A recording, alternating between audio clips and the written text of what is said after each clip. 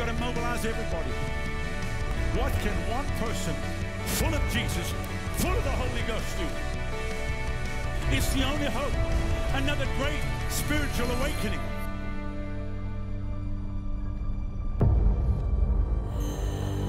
You can convince people that this war is real. He but the media. You you created the Federal Reserve in 1913 through lies. First, to prepare the United States for foreign war under the guise of American defense.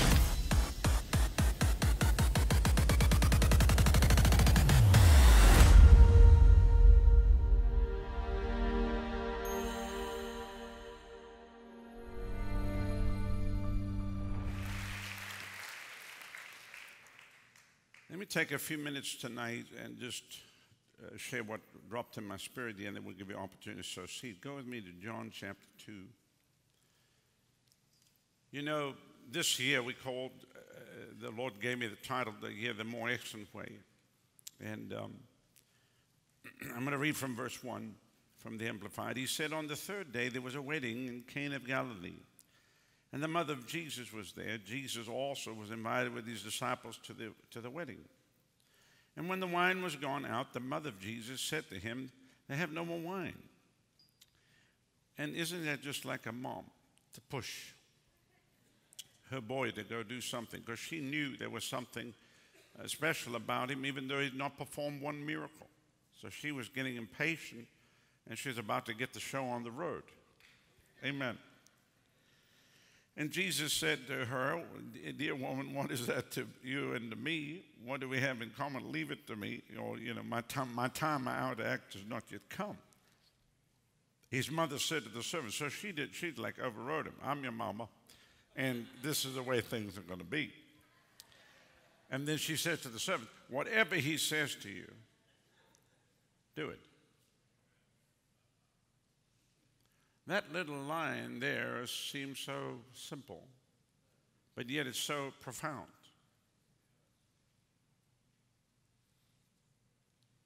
Because no matter what, you find yourself in this here, when it comes to provision, all you have to do really is to stop and listen. And whatever he tells you to do, do it. That's all. It's not complicated. She never said, I want, I want you, all people need to start praying right now. We need, we, we need a miracle. Some said, Oh, no, my God. Has it come to that? We need a miracle. She said, Whatever he saith to you, do it. The miracle comes in the doing of what he tells you to do. And the fact of the matter is, when he said, My sheep know my voice, the voice of a stranger they don't follow. So I know when God speaks to me. And the Lord will speak to me. And the way I do, I always do it. And maybe this is not the way you're supposed to do it, but it's the way I was taught anyway. Because out of the mouths of two or three witnesses, let every word be established. So I don't maybe act immediately. I mean, I, I act as immediately when I know it's the Lord. Are you with me? So the, I get the impression, because you know, people think it's going to be like an audible voice speaking to you, but it doesn't work out that way. God drops in your spirit, I want you to do this. Then it's not long. I mean, I'm not talking about two days later. I'm talking about it'll come again. And then, you know, I just wait, and then it'll come the third time. The moment it comes the third time, I know. I've already been, you know, uh, uh, the other night we were leaving a place and uh, th- these people, uh, we, we were actually in Alexandria, Louisiana. And they fed the whole team, you know, and I don't think they had prepared for us because the pastor wanted to take us to some American restaurant that was just a chain restaurant. I said, Pastor, we in Louisiana. I don't want to eat no Outback Steakhouse. Lord have mercy. We want some gumbo. You know, you, you, you only have an opportunity to be in Louisiana, you know what I mean, one night. Give me some gumbo. And so he called one of the members of church who said that he was making gumbo. So I don't think they were making it for us, but they didn't. They turned around and made everything for us. And they showed up at the house with the greatest gumbo both sides of the Mississippi, man. Make you want to slap your mother, you know. And so, I mean, it was just great. And, and they even got there late. You know, we had to rush to the service, but we were waiting, and they kept saying they were coming. They kept saying they were coming. So I know they put themselves out for us. Anyway, we ate the meal. It was phenomenal. And, uh, you know, cost me about two pounds that I ended up putting on, you know, which I shouldn't have done, but, you know. And uh, anyway, so we go to the service and uh, preach, and, and uh, right off the service, I was walking out. I saw them sitting on the side, and then the Lord said to me, "I want you to give them. I want you to hand, give them some cash. You know, I, I, I had five hundred dollars that I pulled out, and the Lord said, "I want you to give it to them." I heard that, and I didn't. And I turned around, I was walking because we, were, we had to get to the plane. And the Lord said, I said, give them that money. And I turned right around and I chased him into the side room there. I said, excuse me. And I just put in his hand and then disappeared. Because I know, you know, you, I would be flying without doing what the Lord said to do. Are you with me? And I'm talking about me personally. I'm just talking about me personally doing that. I'm not even talking about from the ministry.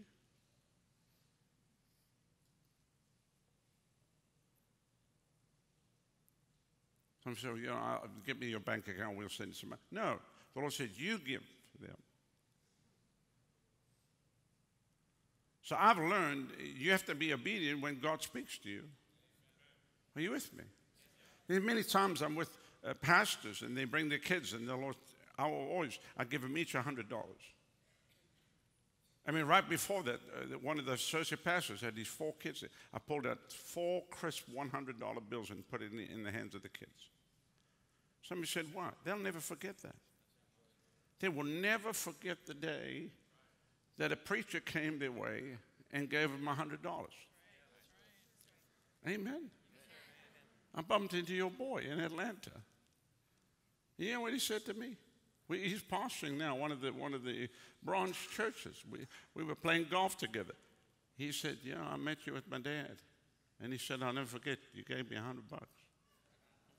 So I've never forgotten that. And then he said, we were in the restaurant and there was a waitress there and she was, was sick. And he said, all these preachers said, you jumped right up and grabbed a hold of her and started praying for her. He said, that hit me. Who's this man? So sometimes we try to stay in, you know, I just don't want to, you know, I'm not going to do anything or whatever. And I'm not saying this yet. You know, somebody said, well, you shouldn't let your left hand uh, uh know what your right hand's doing. Look, I'm, I'm just telling you from a practical standpoint that you just have to obey the Holy Ghost when God speaks to you to do what He tells you to do. Otherwise, what happens is God speaks to you and then you walk away, you don't do it, and then you keep saying, I should have done that. And you know you should have done that. Amen. And the secret to provision in your life is, to is a constant flow of provision from you. Because everything we have is not our own, we actually just stewards of it. Are you with me? We had a kid uh, come to Bible school, was totally messed up. But when he was five years old, I was preaching in New York, and I handed him a hundred bucks. And then I said, when, when you get old enough, you're going to come to Bible school. Well, the kid grows up, and he goes into drugs, and he's following the footsteps of his father, who now is a preacher but was a drug dealer. And he was driving down the road and hit a car. And an old lady in the car died. And he got out and he knew, I'm going to prison now because that's manslaughter, whatever, you know, uh, uh, whatever they'll do in New York City. And so he said, God, if you get me out of this, I promise you I'll serve you. And the lady went like this. The old lady went and started breathing.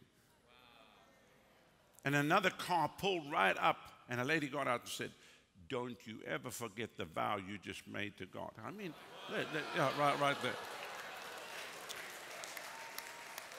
Then he goes to his father and said, Do you think the offer? Remember when Pastor Rodney gave me that $100, he said that I could go to Bible school. I'm not talking about a kid messed up. I mean, me messed up, still messed up. Do you think that that offer still stands? And he came to Bible school. And now he's back helping his dad in the church. Come on. You know, many times we teach these things, people think it's just about an offering, but it's actually not. It's about a lifestyle of what you're going to do because anybody can give an offering. People bucket plunk all time, all day, all day long. Throw something at the Lord. But it's about being a distributor of that which the Lord has entrusted to you. Can you say amen? And being ready to give whatever God tells you to do. God said, yeah, I, as far as I'm concerned, if it's not bolted down, it's going. If God says go, it's leaving, it's leaving, it's going. Many times, clear out things. I, and I don't want to get into specifics about it because people get mad some of the stuff I give, you know. So I'll just be quiet about it. But, you know, and then the harvest comes back of those things. Amen.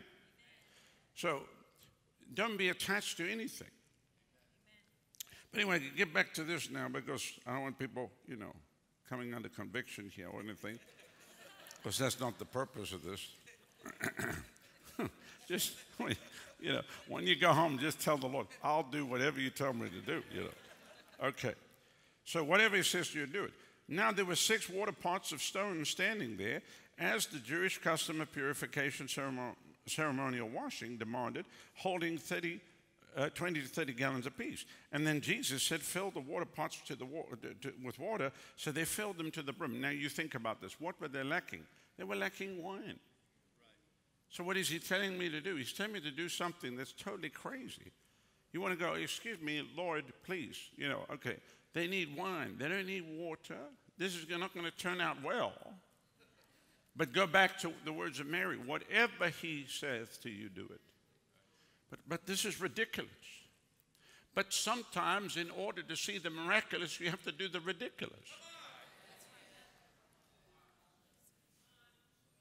It doesn't make sense to the natural mind.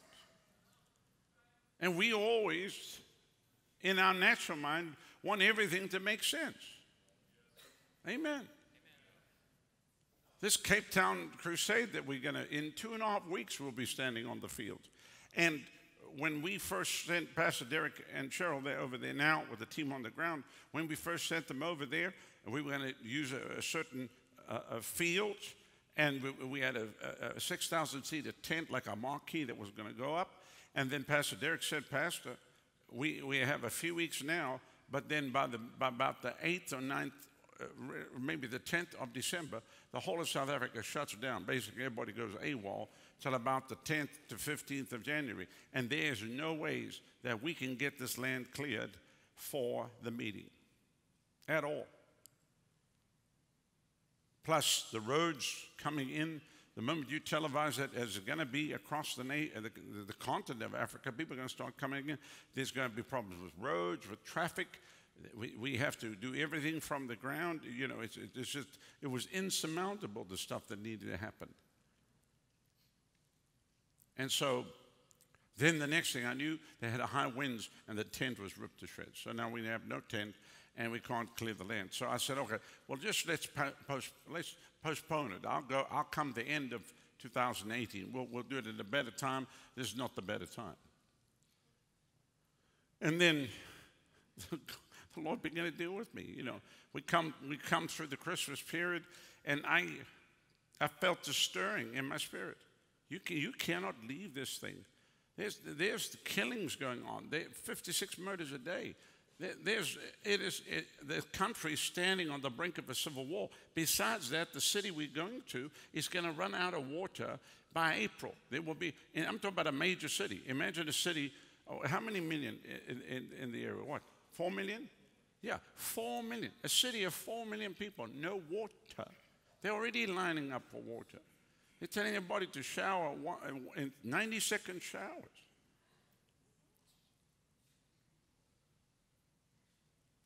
So you talk about a crisis situation in the nation. Somebody said, Well, what's that to you? You live over here, but there's family, there's believers living there. And they're praying. And so uh, in my spirit, I heard the Lord say, Go stand on a field in the shadow of the mountain. If you can put the, the picture up for me. Go stand on a field. Uh, and I just thought, I'm not getting a. We then found, that's it there. That's a cricket ground. That's Table Mountain in the background. And keep it up while I'm talking. listen, we found another place that they're going to break down. They're going to break this auditorium down to seat 6,000. And they said they, were, they actually called us and said, we'll give it to you for almost next to nothing.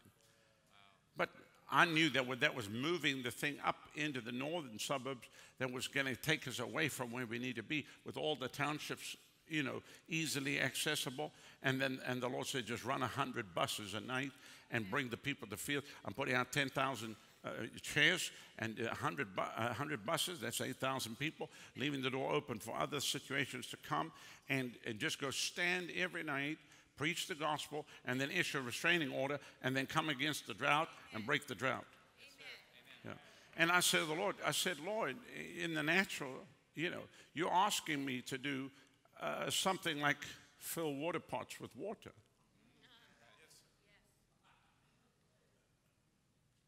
But I've learned a long time ago all God needs from us is our obedience.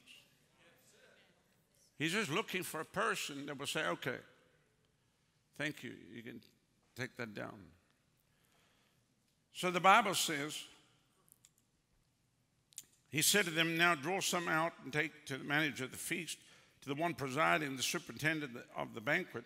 So they took some, and when the manager tasted the water, they now turned to wine, not knowing where it came from.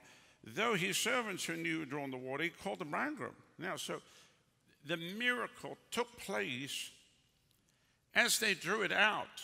It probably was still water, but as they drew it out, you know, somebody said, We're not going to have the provision. Can you imagine the embarrassment of them drawing out the water and then handing it to the people and they taste it and they say, This is just water? It would have, it would have wrecked the wedding. It would have been a total embarrassment to everything. Somebody said, Well, I don't want to do that. That's just totally crazy. We're going to be embarrassed. We, and, and the Bible says that if you believe the Lord, you will not be ashamed. Can you say amen? That if God tells you to do something, that the Lord's going to come through with it every single time, as He always has. How many have ever found yourself in a situation and you thought to yourself, I'm never going to get out of this one? And then God tells you what to do, and then He does it again. He brings that miracle happens again and again and again and again. Every time. He's not failed one time. He's not failed one time.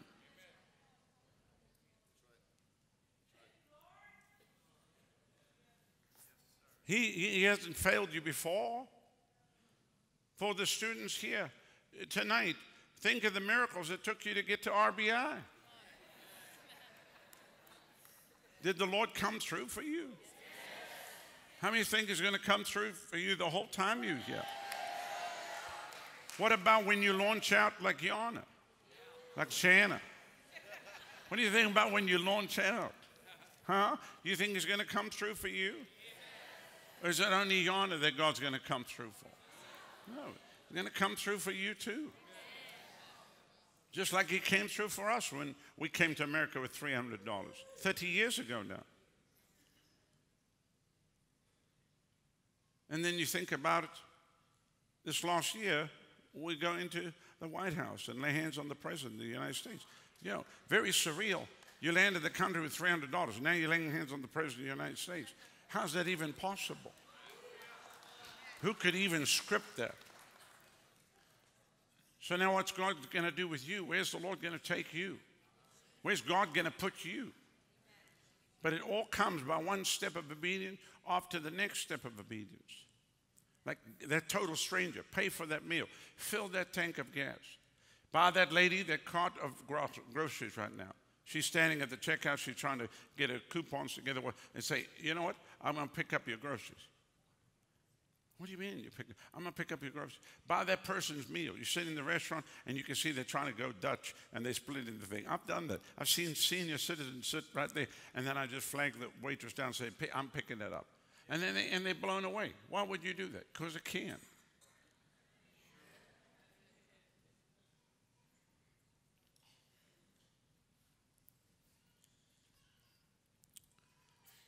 I mean, I tell some of the ridiculous stuff, you know, that happens and has happened over the years.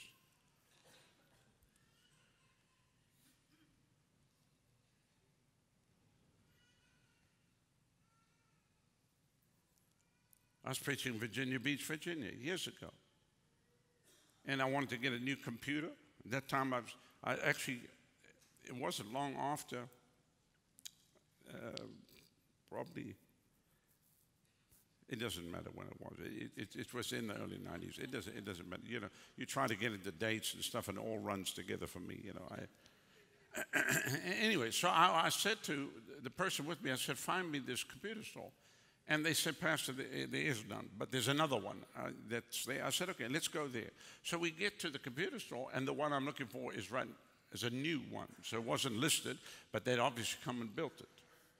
So we, we walk in the computer store, and I come right up to the counter, and um, I'm uh, looking at computers. And the, the, the, guy behind the counter, he looks at me and he goes, Rodney Howard-Browne, what are you doing I said, I've come to get a computer. He said, I, I saw you on television. And as I looked up at him, the Lord said, I want you to give him $200. And I go, What? Oh? Are you kidding me? I, I, I, said, Lord, I actually came, I came here to buy a computer, you know, seriously.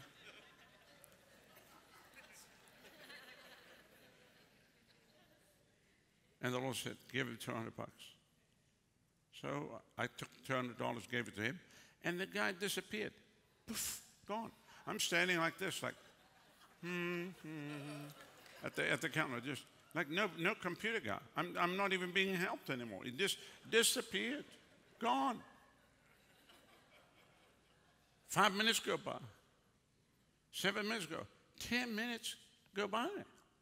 I thought, what happened to the guy? Did he take the money and run? I, I didn't know. I didn't know what the story was. So I called and one of the workers over said, Can you please come here? I said, There was a guy helping. there was a guy helping here and I don't know where he's gone. Can you find him? You know where he was? He was in the restroom, crying his eyes out. They brought him to me. It was like bringing a little boy that was sobbing. It was, yeah, the grown man. His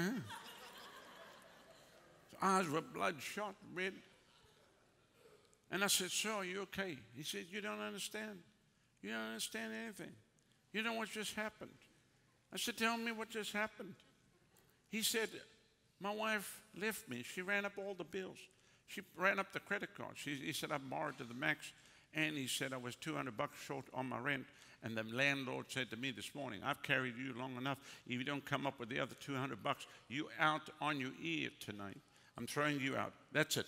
It's over and done with and you better have the 200 bucks tonight. And he said, I'm standing here thinking, I need a miracle. And oh, well, this was after morning service, so this was probably like maybe 3 o'clock in the afternoon. I mean, he probably had like two hours left of the day, you know, of his work. And then he had to go back and pay his bills.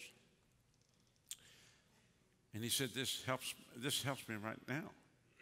He said, when I left the house this morning, I was crying in the car, and I said, Lord, I know you love me. It doesn't, I mean, I'm in a total mess here, but if there's some way that you can give me a miracle by the end of the day, that would really be great. He said, and then of all people, you come.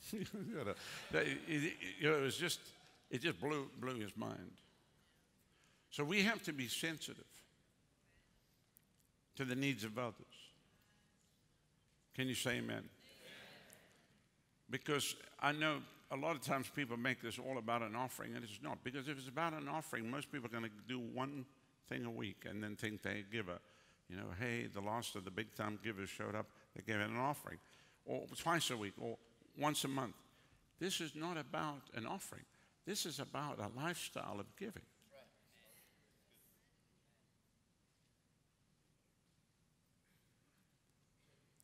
So God will give it to you to give it through you. The Lord knows you not like the Dead Sea. The Dead Sea has a great inlet and no outlet. And God will start bringing you things that you don't even need so that you have seed. God will bring you things to give away. You'll be a recipient of things coming to you. And I promise you, if you think that praying for people and miracles and all the signs and wonders are great, when you enter a ministry of giving, You, talk about a joy beyond anything you can ever even begin to imagine.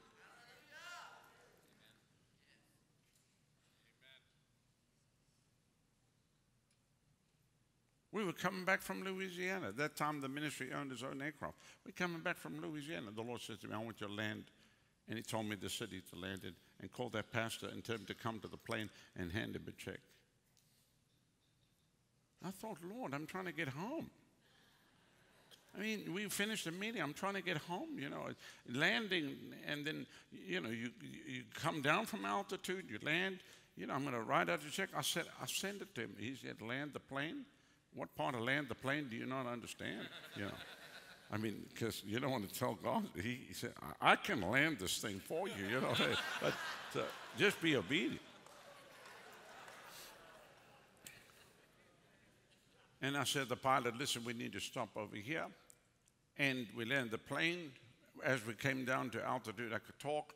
Called the guys come to the, come to the FBO, flight base operation. He pulled up. I walked right in, handed him the check, give him a hug. I'll see you later. Turn around, walk straight to the plane, get on the plane, took off, and, and we, we came home. There's no, you know, a little extra, but not, no skin off our nose. And then I got so happy flying home. I thought, you know what?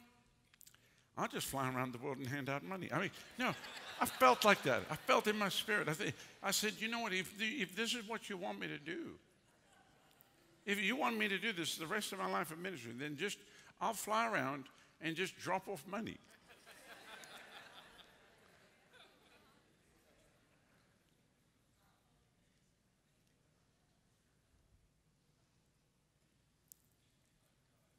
Now, something that's very interesting here when you look at this, he says here, everyone else serves his best wine first. And when people have drunk freely, then he serves that which is not good. But you've not kept back the good wine until now. Or you have kept back the good wine until now. Now, here's the thing that you need to watch.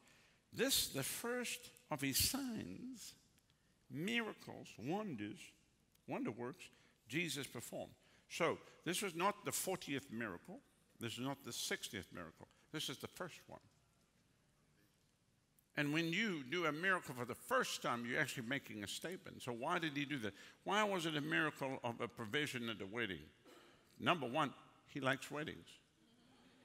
That's proven right there. So any young person getting married, you serve God, God will supply everything for your wedding, your honeymoon. Um, I'm telling you, he loves weddings. He'll even supply the rock for the ring. Amen. He loves weddings. Loves weddings. How many of you that, that have got married here at the church, you saw miracles at your wedding? Stand. All the couples that have got married here so far over the last number of years, come on. You saw a miracle. Amen. He said, now we got couples all over the world now, starting churches and stuff like that. So, I mean, it's miraculous when you begin to think about it. When you when you see God come into the middle of your life, like something as natural as that. But it says this the first miracle he did. It was not a miracle of salvation. It was not a miracle of healing, it was a miracle of provision. Why? Because that's probably the least that man needs. Even though man makes it the most of what he needs. The greatest need of man is salvation. After that, the healing of their bodies, and then provision. But the Lord comes along and He does the last thing first. And the first thing he does last, which he dies on the cross of Calvary and then raises from the dead. And in between, what does he do? He goes around and heals the sick. So, what is he saying? I'm everything that you need. Whatever you need, I'll save you, I'll heal you, I'll deliver you, I'll provide for you. I don't know what's wrong with people that have a problem seeing the hand of God in provision because I don't see the separation, I can't, I can't, in my mind, separate this. If Jesus shows up at your house, whatever's wrong with your house is going to be made right. You, you're about to have a miracle in every area of your life. He's not just going to do one thing and not another thing. He's going to do it all. And the fact that he said, in doing this miracle, Jesus manifested his glory, which is his goodness.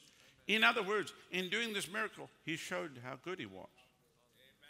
So somebody said, well, he was showing off then? It looked like, hey, he was showing off. Yeah, he shows up and shows off his glory. People were in wonder, they were in uh, amazement at what he had done. Because there's things that he does because he's just good. So somebody said, well, what's the purpose of that? It's just to show that he's good. He's just going to do it because he's good.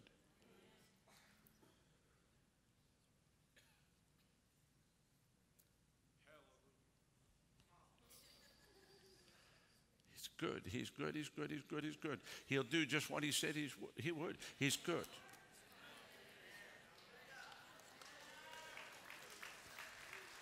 He's a good God.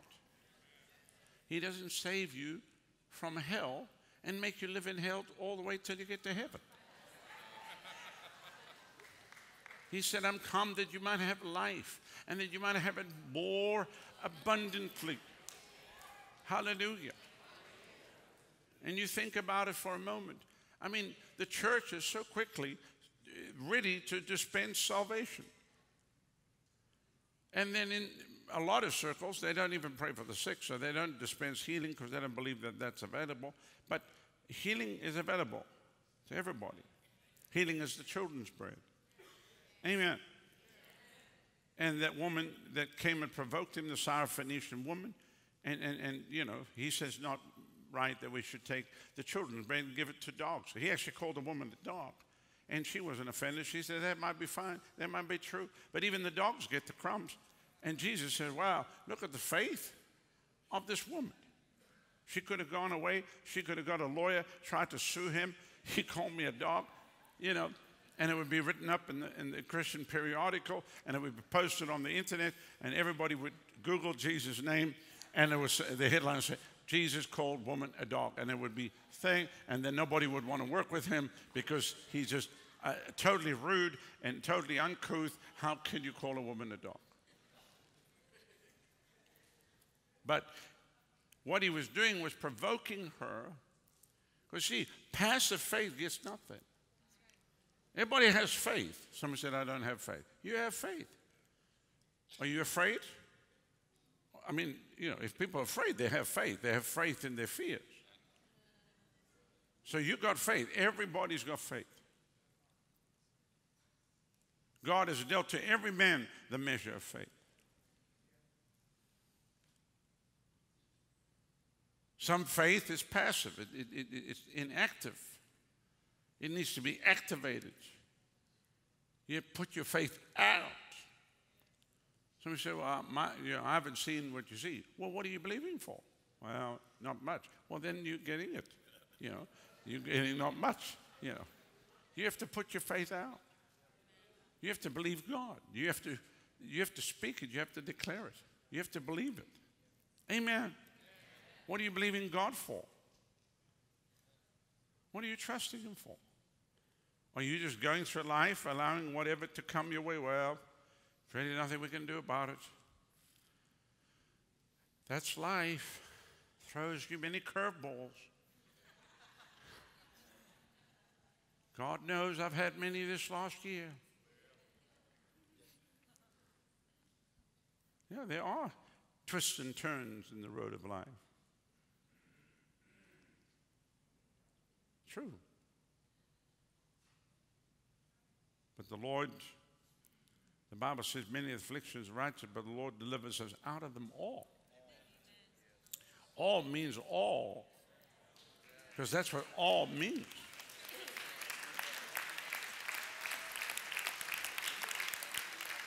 And, and we meet many ministers, I talk about ministers now, that are just they're just going along and they just allow anything to come their way. They don't stand up. You have to fight, man. You have to stand up and say, absolutely not. Well, no, no, I draw a line in the sand. This ain't going to happen. We don't, we're not even receiving that. We're not receiving that report. You know, somebody said, You mean you're negating what the doctor said? Yes, because I got this book right here, and this says something else. Amen. And whose report will you believe? Let the weak say, I am. Let the sick say, I am. Let the poor say, I am. Oh, you must be part of that name it, claim it, frame it bunch. Yes. Yes. The Bible says in the book of Hebrews, through faith we understand that the worlds were framed by the word of God. So God's a name it, frame it, claim it person. Amen. We call those things that be not as though they were. We don't call those things that are as though they are not. We're not mind of a matter, and if you don't have a mind, it doesn't matter. We're not Christian science, we're Christian sense. Amen. Hallelujah. So we activate our faith. Faith is voice activated. And then faith acts. There's actions to the faith. If you believe, then you, even though you haven't seen the evidence of it in the natural, you start moving in the direction of the miracle and trusting that God's going to come through for you, as in filling water pots to the top with water, even though your mind is screaming, even though your head is saying, This is crazy. Somebody said, People are going to think we're out to lunch. What are you, why are you worried about the people that think you're out to lunch? They haven't even had breakfast yet. What, what's your problem?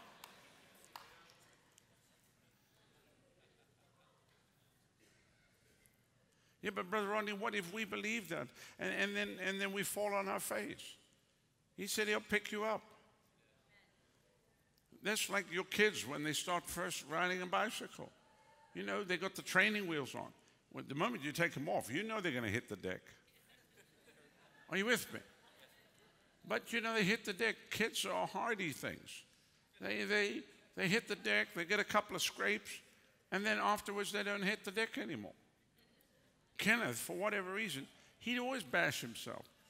He would bash, he couldn't go outside, he would come back with a bash. I thought he was going to be one giant car by the time he was 15.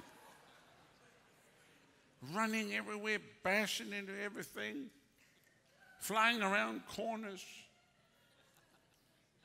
always bumps on the head.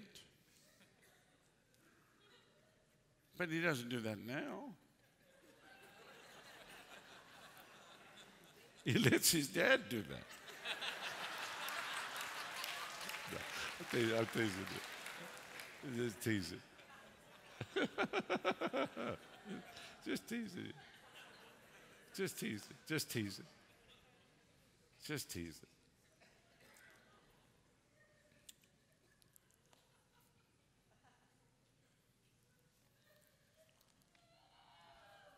So an individual's faith is going to grow. Where your faith is now is not where it's going to be two years from now, three years from now.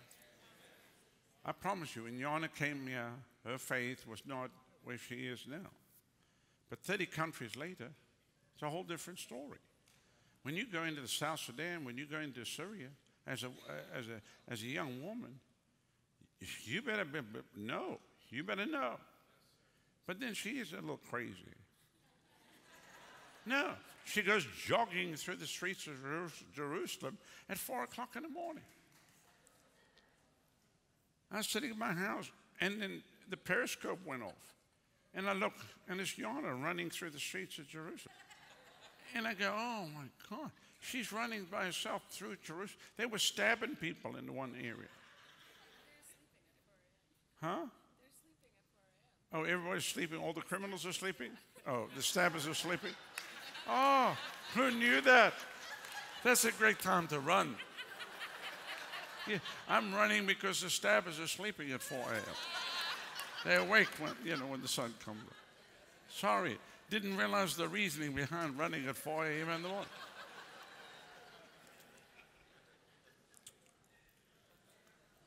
But I, do think the stabber would have a little shock when, when the lady has a black belt. So I think the stabber would, you know, it wouldn't be his good day.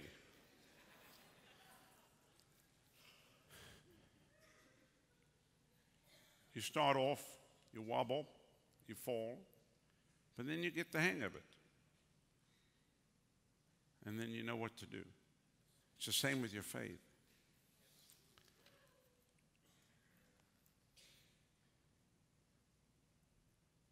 So Jesus showed forth his glory and he displayed his greatness and his power openly, and his disciples believed in, adhered to, trusted and relied on him. And, and, and we could go, we could talk about the miracle catch. Peter's boat was used, and they were net breaking boats and a load of fish.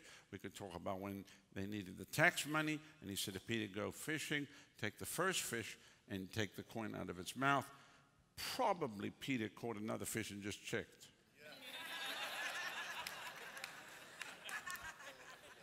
Probably. He caught another fish and just said, I just have to check this out. the miracle of the five loaves and two fish, feeding the 5,000, the feeding of 4,000, taking a little boy's lunch, multiplying it, all, all these things in the natural are ridiculous. But yet, they resulted in sustenance. And I want to just decree this over you today that 2018 will be the year the more excellent way where you see the supernatural power of God in manifestation for provision in your life to accomplish that which the Lord has called you to do. Because if miracles are available, you might as well have them then. I mean, I'm just a simple person in the fact that I come from Africa and I read a book and believe every word of it. So if they could see the supernatural, I'm not going to get to heaven and then the Lord said, Come here, let me show you all the miracles that were available to you in all of these areas, but you only put your faith out for certain areas. You are only trusting me. And, what, and I'll just say this whatever you believe God for, you'll get. You know, whatever you believe God, it's a fact. It's a fact. Whatever you believe God for, you'll get. Now, I believe God for souls. Now, what we're sitting at, in just in the last, in, now into the eighth year, 14 million. And totally, of, what's it, 19 million. I'm believing God for 100 million souls. You'll get whatever you put your faith out for, you'll get. And they'll go in every single area of your life. Physical body, believe God for a wife, you get a wife. Believe God for children, you get children. There's, there's a church in Nigeria, and I'm just picking on them, but they have ladies, listen to me, this will sound this will shock you, but they'll have ladies that are 56 years old that are having babies. Because they were barren and they heard the preacher preach that God will give them the child. So they just begin to believe God. And they're 56 years old and they're having children. Somebody says, No, Paul, go, go to Lagos, go find out. It's happening. They get up on the platform and testify and they bring the baby on the platform. Well, that is just impossible. No, Sarah was older. Sarah was, was 90 years old. So, all you ladies out there, I, I tell you, yeah, I've got some people glaring at me right now. okay, don't worry about it. It'll never happen. I, I said, you know, well, I say that, but, you know, Sarah laughed. so, oh, Sarah laughed.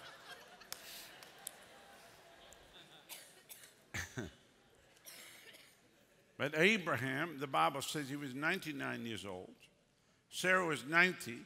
And the Bible says Abraham was staggered not at the promise of God through unbelief, but was strong in faith, giving glory to God, and being fully persuaded that what God had promised, he was able to perform.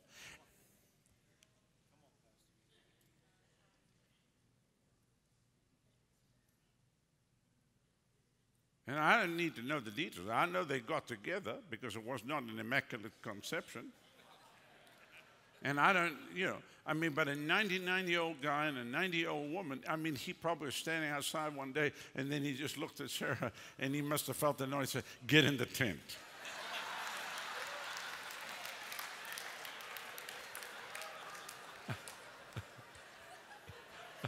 I mean, I, I you know, in, eh, in the Tin Woman. Yeah, I, I don't know.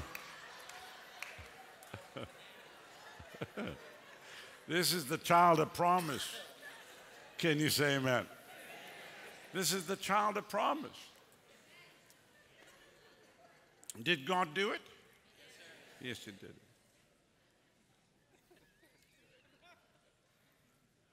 Some people say, well, why won't God do that? He'll do it because He's good. So I decree and declare over you that 2018 shall be the year of the more excellent way, the year of supernatural provision for your life, for your home, your marriage, your children, your business, your ministry, and for the vision that God has placed on the inside of your heart. And that no plan of the enemy over your life or against your life will come to pass. Every plan of the enemy against your life will fail. When the sun sets on the 31st of December 2018, you will look back and say, Truly, the hand of the Lord was upon my life in a supernatural way.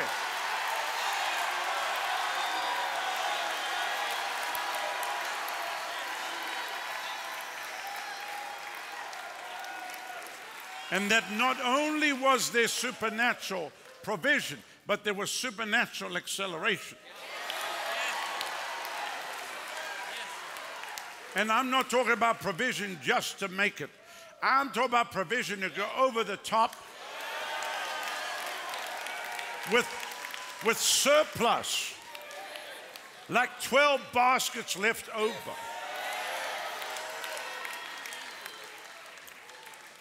Hallelujah. Because God is in the multiplication business.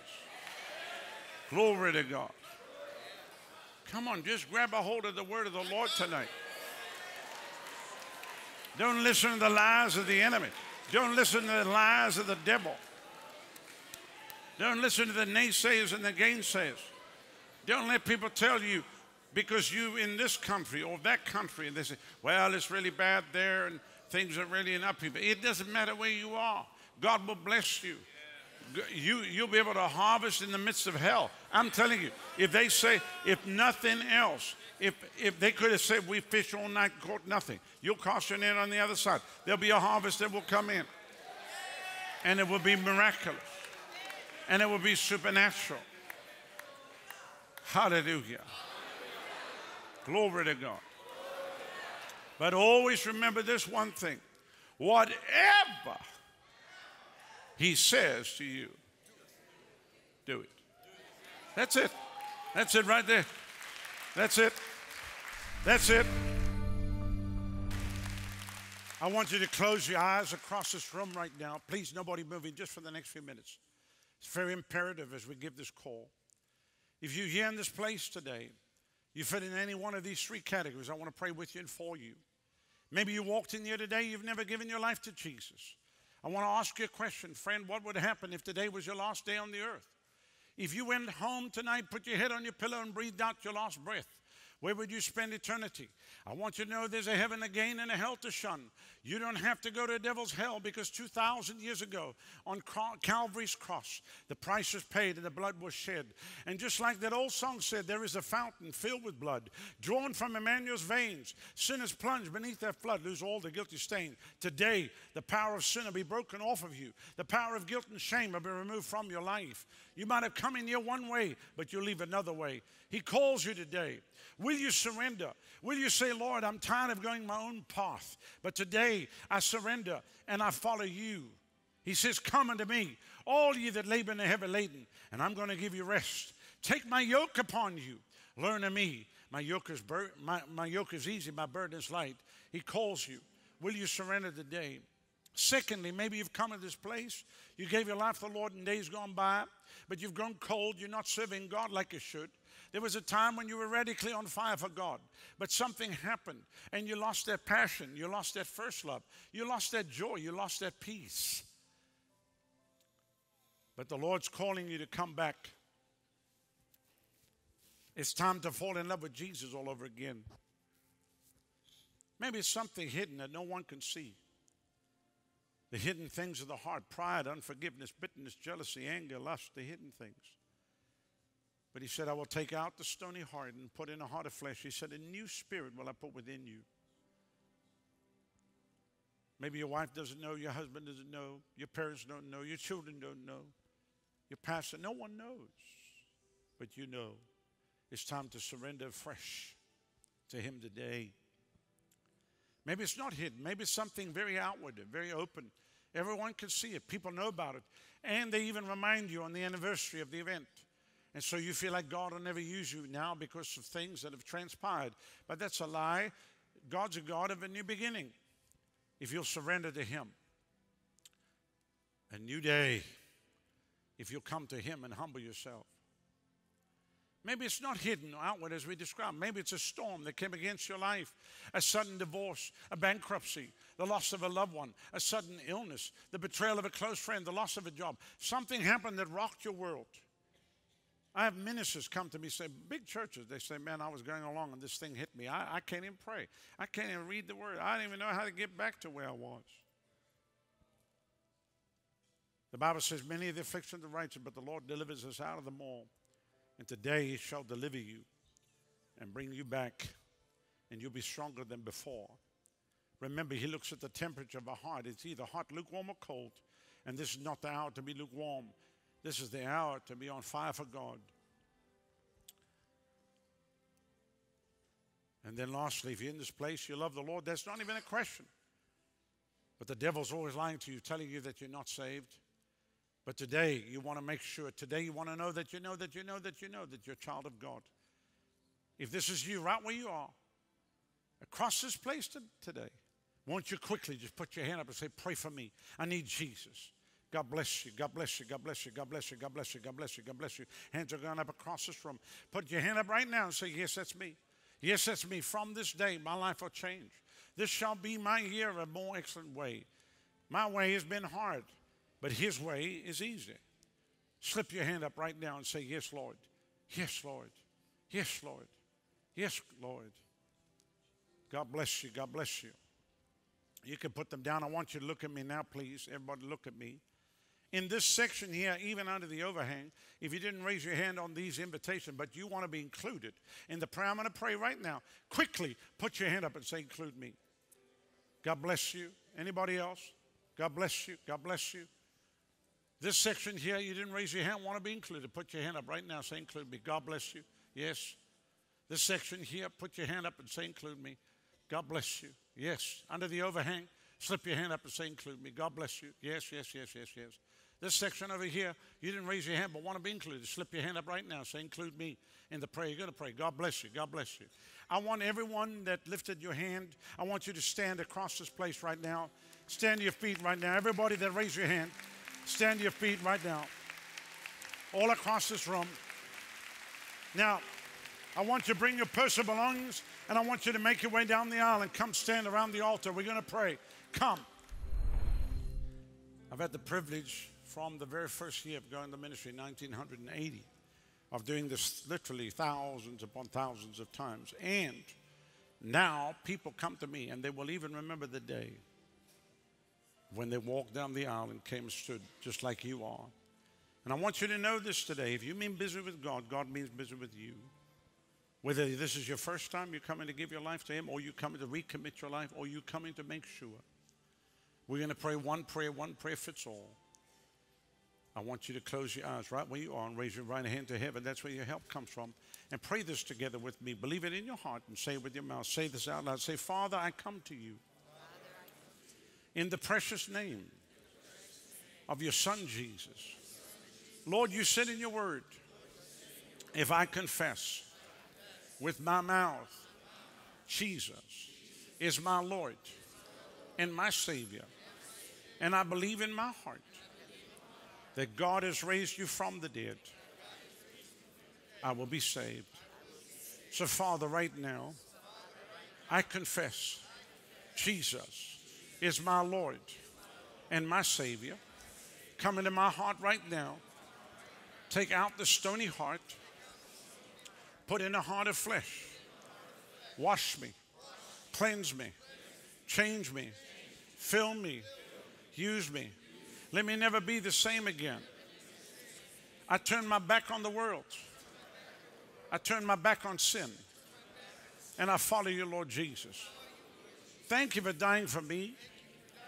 Thank you for shedding your blood for me. Thank you that on the third day you rose for me. And thank you that you're coming back again for me. From this day on, I'll never be the same again. I confess Jesus Christ has come in the flesh. He is my Lord and my Savior. And right now, by faith in the finished work of the cross and by the shed blood of Jesus, I am saved. Thank you, Lord, for saving me now. Now, Father, I pray that you would seal them now by your blood and by your spirit, that on that day not one would be missing. Raise them up to be mighty men and women of God and use them to profoundly impact the kingdom of heaven. In even this year, beginning this year, we thank you for it. Every power, the wicked ones broken off of them, I send every curse back to its origin. In Jesus' name, and we thank you for your blessing upon them now. In Jesus' name. Amen. Amen.